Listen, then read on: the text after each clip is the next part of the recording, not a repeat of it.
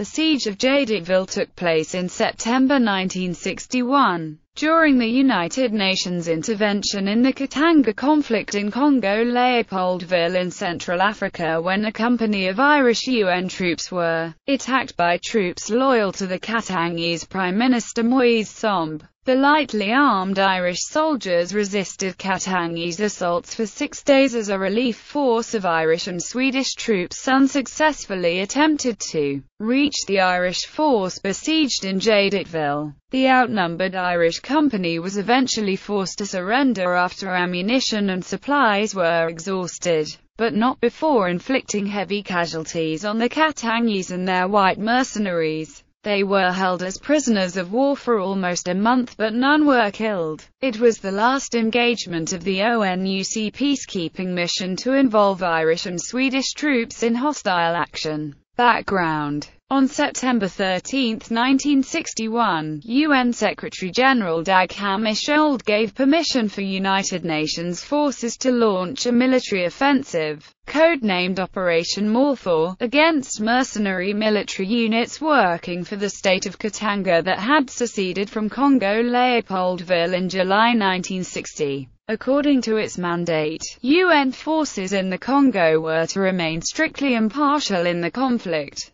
However, the Katangese political leadership believed the UN had broken its mandate and were now siding with their opponent, the Congolese central government. Soon after the start of Morthor, the Katangese led a counterattack on an isolated UN military unit based at the mining town of Jadotville, some 100 kilometers up country from the main UN base in Elizabethville City. A small UN contingent of 155 Irish troops, commanded by Commandant Pat Quinlan, had been sent to the mining town to assist in the protection of its citizens. This was the result of a plea by the Belgian settlers and local population who said they feared for their safety. Battle The initial attack by the Katangese occurred while many of the Irish troops were attending open-air mass. Expecting to take the men off guard, the first attackers moved in rapidly, but were spotted by an alert sentry.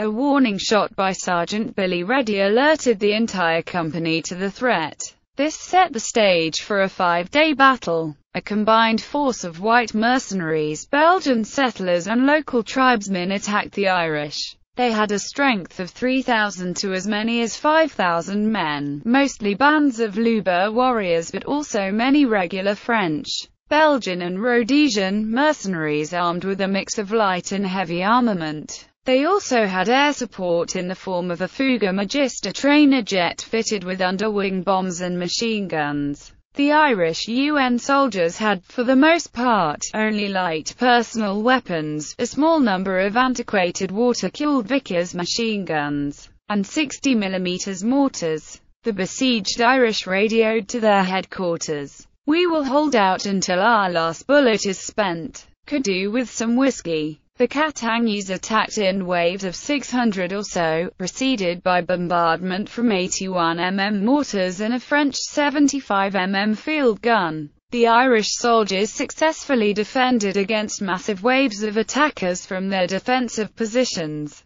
The Irish support platoon also knocked out most of the Katangese mortar and artillery positions with effective counter-battery fire from 60mm mortars. After withstanding four days of repeated attacks, the Irish fired on identified Katangese mortar and machine gun positions with several hours of continuous and concentrated fire from their own mortars and machine guns. The Irish attacks proved accurate and effective. White mercenary officers could be observed shooting native gendarmes to stem the rout caused in Katangese lines. The Katangese then asked Commandant Quinlan for a ceasefire, as their forces had been seriously diminished, and were on the verge of collapse. By this time, their effective strength may have been reduced to 2,000 men. Commandant Quinlan agreed. Several attempts were made to relieve the besieged soldiers by the 500 Irish and Swedish UN troops from the base in Kamina and Indian Army Gurkhas. But they were beaten back by a supporting force of mercenaries who were brought in by the Belgians and Moise Tshombe, the premier of Katanga. A feature of the failed attempts to relieve the siege was a series of battles at a pinch point called the Lufira Bridge. The Lufira Bridge carried the Jadotville to Elizabethville Highway across the Lufira River. A company, 35th Battalion suffered five wounded in action during the six days of the siege. The Katangese, on the other hand, suffered heavy losses. Up to 300 were killed, including 30 white mercenaries, and an indeterminate number of wounded, with figures ranging from 300 to 1,000. However, Commandant Quinlan had no access to resupply and reinforcements and with his transport destroyed by the Fouga Magister jet a breakout was virtually impossible. At one stage in the conflict, a brave mission to bring in water by air was successful, but due to contaminated containers the water was undrinkable. Quinlan lacked any clear direction or communication from his superiors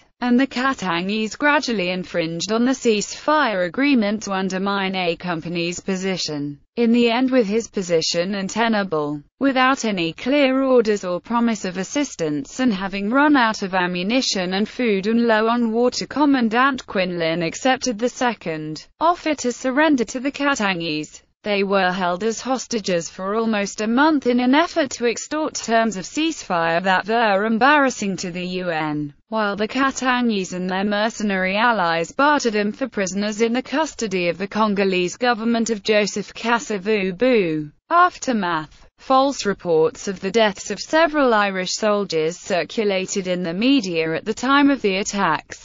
One theory suggests that the Belgian Fouga pilot mistook bedrolls for body bags as he overflew the battlefield. The Battle of Jadotville was not, until recently, given much recognition by the Irish state. The term, Jadotville Jack became a term of derision across the Irish Defence Forces. No Irish soldier received any decoration for their actions at Jadotville, even though Commandant Quinlan recommended many of his men for the Military Medal for Gallantry, Ireland's highest award for military valor, for their displays of heroism during the battle. Even though A Company 35th Battalion had tactically defeated a much larger enemy force at Jadotville the defense forces buried all record of the battle presumably over shame that A Company had in fact surrendered. Commandant Quinlan eventually retired as a full colonel but never served overseas again, and it was recognized by the officers who fought at Jadotville that it was best for one's career not to mention the battle. However, the veterans of Jadotville continued to be dissatisfied with the Defense Forces' refusal to acknowledge the battle, and in particular the black mark on the reputation of their CO, Commandant Quinlan. Quinlan, who died in 1997, had his public reputation finally restored nine years after his death.